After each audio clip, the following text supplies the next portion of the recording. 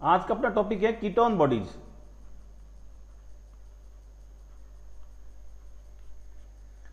Beta oxidation का end product product होता है अपना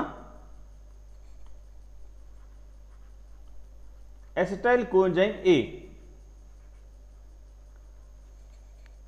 यदि एसिटाइल कोएंजाइम का और प्रोडक्शन हो तो वो टीसीए में एंटर न करके एस्टाइल कोएंजाइम के दो मॉलिक्यूल आपस में रिएक्शन कर लेते हैं और उससे बनता है acetoacetyl coenzyme A. Acetoacetyl coenzyme A in the presence of enzyme thiolase.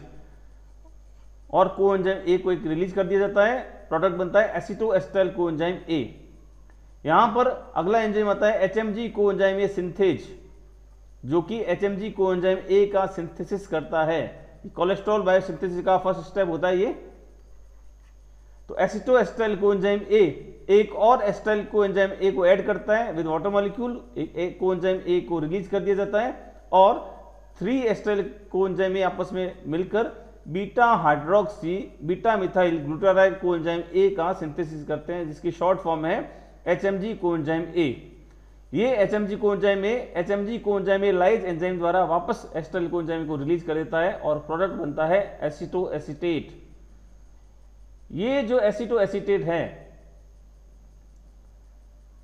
ये एसिटो एसिटेट फर्दर एसिटोन में या बीटा हाइड्रोक्सी ब्यूटारेट में कन्वर्ट हो जाता है।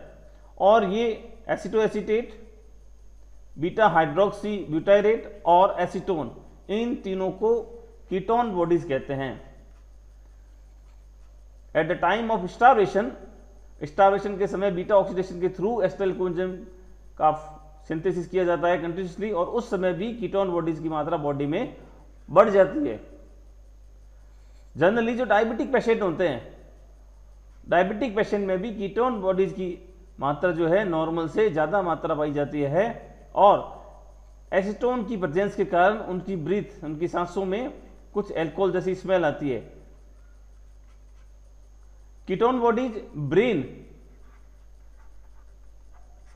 ब्रेन के लिए भी एनर्जी का सोर्स होते हैं, लेकिन हायर कंसंट्रेशन में ये लिथल होते हैं, बॉडी को नुकसान पहुंचाते हैं।